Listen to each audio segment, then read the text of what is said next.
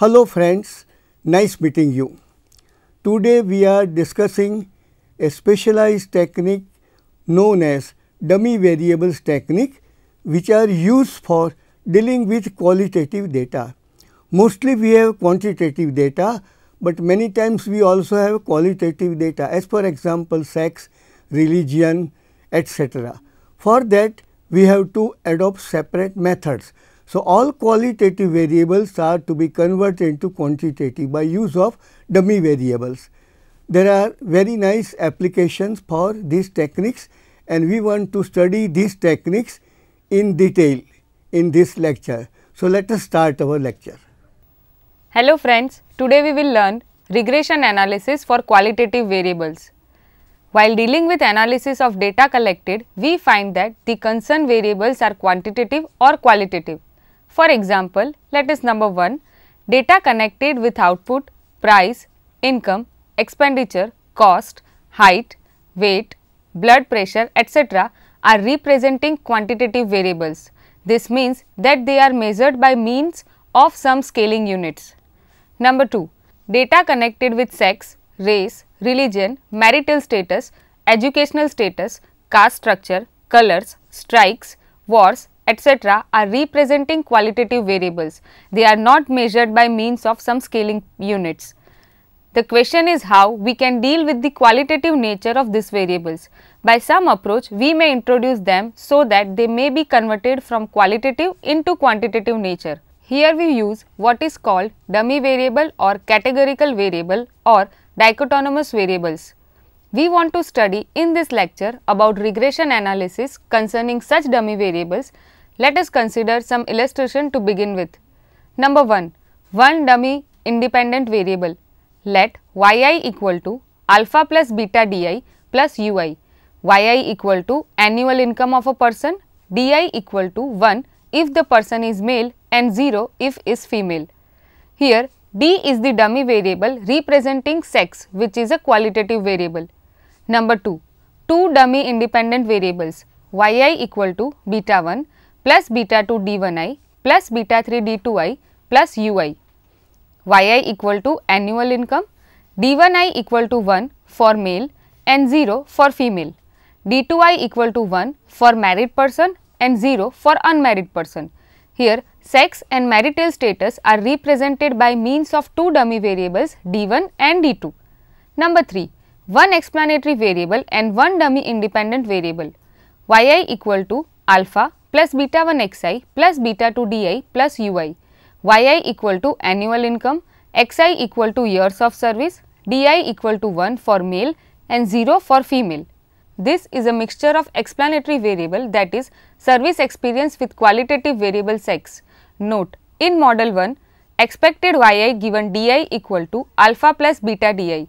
So that expected yi given di equal to 1 equal to alpha plus beta which is equal to average annual income of male. Expected yi given di equal to 0 equal to alpha which is equal to average annual income of female. In model 2, expected yi given d1i d2i equal to beta 1 plus beta 2 d1i plus beta 3 d2i. In model 3, expected yi given xi di equal to alpha plus beta 1 xi plus beta 2 di. From the above presentation, it may be clear that if we do not use dummy variables, then we have to run separate regressions for male and female etc. Thus, use of dummy variables simplifies the method by considering only one regression. Dummy variables occur in practice in three ways. Number 1, dummy independent explanatory variables. Number 2, dummy dependent variables. Number 3, mixture of both dummy dependent and independent variables. At present, we want to consider only the first category. Number 2, some essential features of the dummy variables. Number 1, if a qualitative variable has m categories or classes, then include m minus 1 dummy variables. If this is not observed, there is multicollinearity in the model. Such a situation is called dummy variables trap. For example, for the qualitative variable sex, if we define d1i equal to 1 for male and d1i equal to 0 otherwise, d2i equal to 1 for female and d1i equal to 0 otherwise, then if we have a sample of 3 males and 2 females with income and experience as other variables, we have the matrix given here. Here D2 equal to 1 minus D1 which shows that there is multicollinearity which is dummy variable trap. Here only one dummy variable should be used.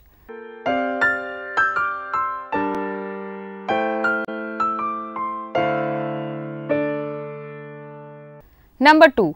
In general, dummy variable can take any value z equal to a plus bd where b is not equal to 0.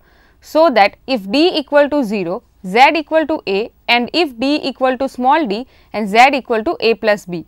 Thus, 0 1 can be replaced by a and a plus b and its choice is purely arbitrary. The value of 0 is called base or control or omitted category. Number 3. The coefficient alpha 1 attached to the dummy variable d1 is called differential intercept coefficient we denoted as DIC. The coefficient attached with the explanatory variable other than dummy is called differential slope coefficient. Number 4. A regression model which contains explanatory variables which are exclusively dummy variables is called analysis of variance ANOVA model. Number 5. A regression model which contains a mixture of both dummy explanatory variable as well as some explanatory variables is called analysis of covariance ANCOVA model. Now let us see some applications of dummy variables techniques starting with combining two regressions. This is also called pooling of cross section and time series data. Suppose that we consider bivariate regression for the data in two ranges of periods. First sample contains n1 observations, second one contains n2 observations. If we combine these two samples, we have n1 plus n2 equal to n observations. We may think to run two separate regressions for both of them and also third one for the entire period. Instead of that, we can run only one regression by using dummy variables technique. Sample 1 yt equal to alpha 1 plus beta xt plus u1 t where t equal to 1 to up to n1 and we denote it as equation number 1. Sample 2 yt equal to alpha 2 plus beta xt plus u2 t where t equal to 1 to up to n2 we denote it as equation number 2. Sample 3 yt equal to alpha 1 z1 t plus alpha 2 z2 t plus beta xt plus ut where t equal to 1 2 up to n1 plus 1 up to n1 plus n2 equal to n we denote it as equation number 3. Here assumption is that slope does not change and also homoscedasticity in the respective regressions.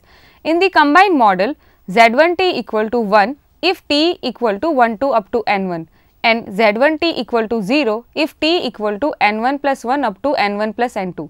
Same way Z2t equal to 1 if t equal to n1 plus 1 up to n1 plus n2 and Z2t equal to 0 if t equal to 1 to up to n1.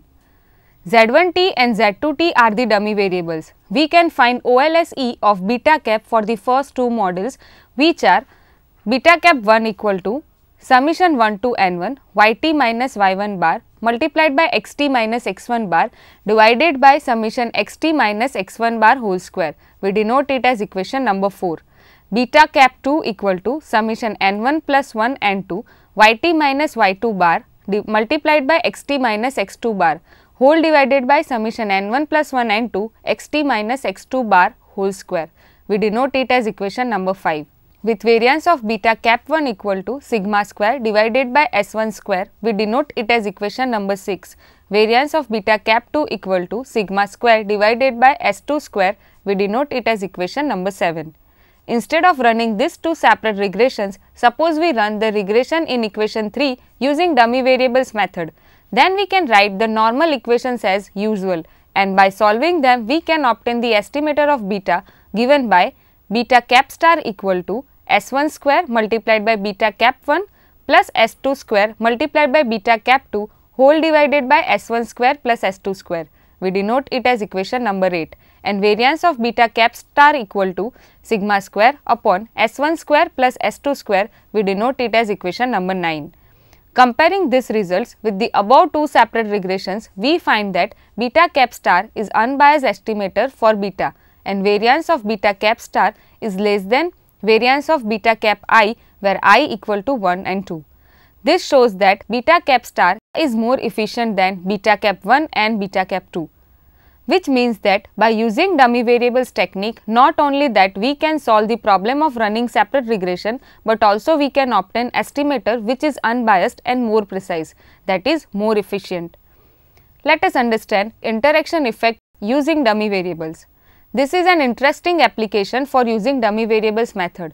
Let us consider the model yt equal to alpha 1 plus alpha 2 dt plus beta 1 xt plus beta 2 dtxt plus ui. We denote it as equation number 1 where y equal to literacy rate, x equal to per capita net state domestic product. We use two dummy variables d2 and d3 where d2 is for gender and d3 is for residential status. D2 equal to 1 if male and 0 if female, d3 equal to 1 if urban and 0 if rural.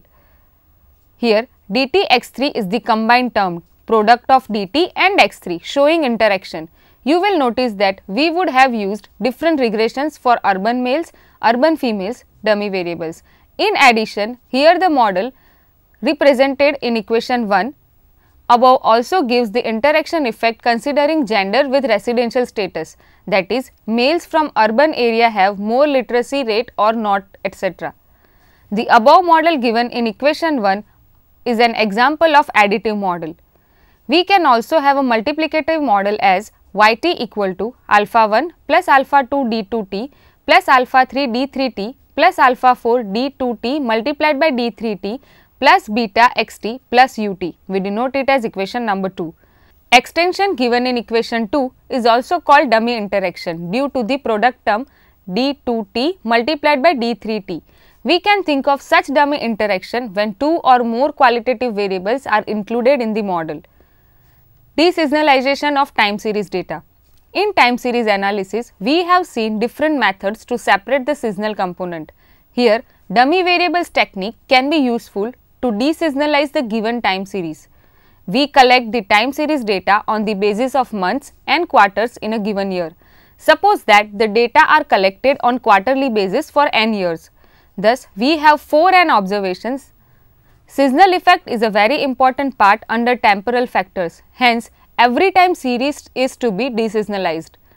Let yij equal to value of y in the ith year and jth quarter where i equal to 1 to up to ni and j equal to 1, 2, 3, 4 that is 4 quarter. We write y bar and b bar as shown here. We write vector y and vector b as shown here.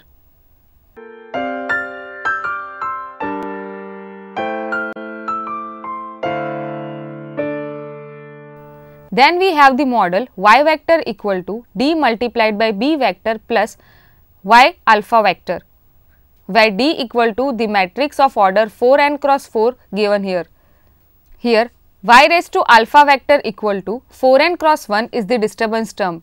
OLSE of b vector is given by b cap vector equal to d dash d inverse multiplied by d dash y vector with variance of b cap vector equal to d dash d inverse sigma square. We have expected value of y alpha vector multiplied by y alpha dash vector equal to sigma square i 4 n. Note that in the above presentation sample matrix D is composed for 4 dummy variables defined by dit equal to 1 if t occurs in the ith quarter where i equal to 1, 2, 3, 4 and 0 it otherwise. y cap alpha vector equal to y vector minus y cap vector which is equal to y vector minus d b cap vector equal to m multiplied by y vector where m equal to i minus d multiplied by d dash d inverse multiplied by d dash which is symmetric idempotent matrix with m d equal to 0. y cap alpha vector is the deseasonalized series. Extension of the model. In the above presentation, the deseasonalized series y cap alpha vector has a drawback that the components of that series add to 0. The real deseasonalized vector is y cap alpha vector plus y bar where y bar equal to double summation yij divided by 4n. In fact, in a time series data, there are other components of trend, cyclical fluctuations, etc. Thus, the above model is to be extended further.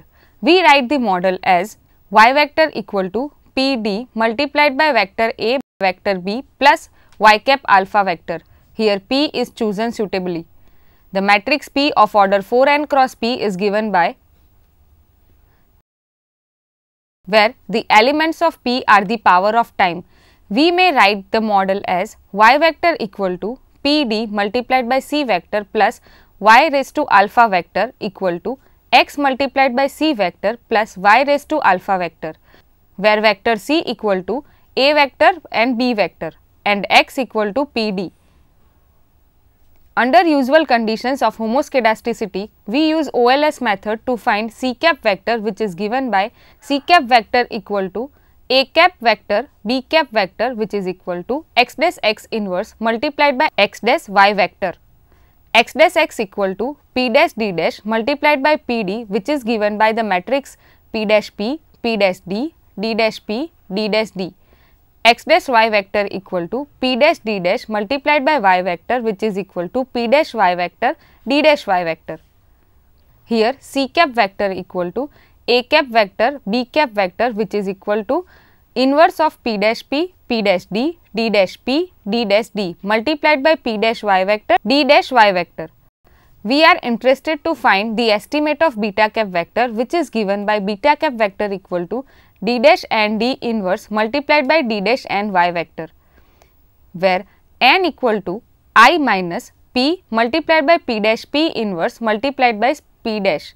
Then y cap alpha vector equal to y raised to ds vector which is equal to y vector minus d b cap vector which is equal to y vector minus d multiplied by d dash and d inverse multiplied by d dash and y vector which is equal to i minus d multiplied by d dash and d inverse multiplied by d dash n whole multiplied by y vector.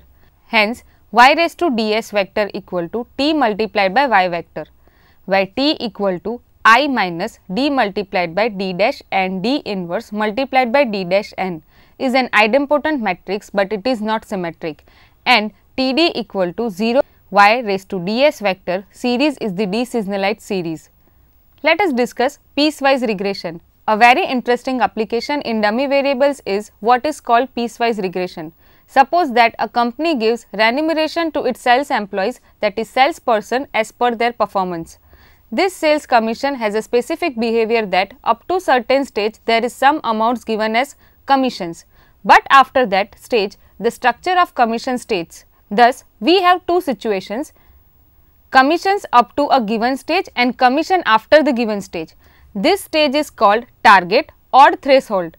In both the cases, we observe linearity, but these two linear functions are not the same.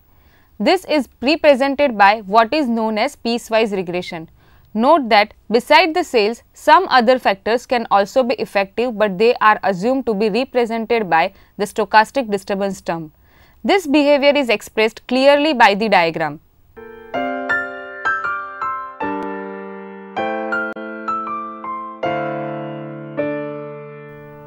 Here x star is the target or threshold value for sales.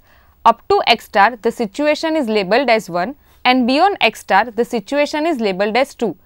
Note that both of them have linearity but under label 2 situations the slope of line is steeper. Thus, indicating higher commission after when you increase sales as compared to threshold value. Both the above linear relationship in situation 1 and situation 2 are represented by a single equation as yi equal to alpha 1 plus beta 1 xi plus beta 2 xi minus x star multiplied by di plus ui where yi equal to sales commission, xi equal to volume of sales by the salesperson, x star equal to target or threshold value of sales. di is the dummy variable such that di equal to 1 if xi greater than x star and di equal to 0 if xi less than x star. Assuming expected ui equal to 0, as usual we get expected yi given di equal to 0 xi x star which is equal to alpha 1 plus beta 1 xi which is called mean sales commissions up to the target xi and expected value of yi given di equal to 1 xi x star equal to alpha 1 minus beta 2 x star plus beta 1 plus beta 2 xi which is called mean sales commissions beyond the target value x star. Beta 1 is the slope of the line in segment 1 and beta 1 plus beta 2 is the slope of the line in segment 2. Here advantage is that instead of two regressions segment wise, we can have only one regression dealing with the situation. It may be noted here that this illustrates what is known as spline function. Further, extension on this lead to what is known as piecewise polynomial of order k and so on. Let us understand dummy variables in semi-logarithmic regression.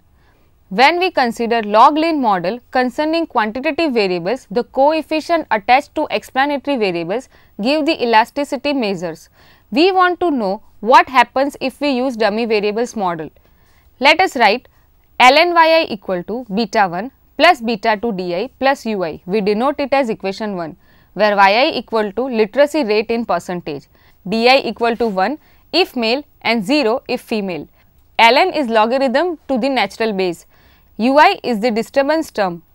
Under the assumption expected ui equal to 0, we get expected ln yi given di equal to 1 which is equal to beta 1 plus beta 2. We denote it as equation number 2 and expected ln yi given di equal to 0 we denote it as equation number 3 which gives answer beta 1. Beta 1 is the mean log literacy rate and the slope coefficient gives the difference in the mean log literacy rate of males and females. If we take antilog of beta 1, what we obtain is not the mean, but the median literacy rate of females. Similarly, if we take antilog of beta 1 plus beta 2, we obtain the median literacy rate of males. Number 5. Further studies. Number 1. What happens if we have dummy dependent variable? We shall study it separately with its relevant further extensions in the next lecture. Number 2. There are further studies related with random or varying parametric models, switching regression models and disequilibrium models etc. Note, we end up this discussion here looking to the limitation of our syllabus. Thank you.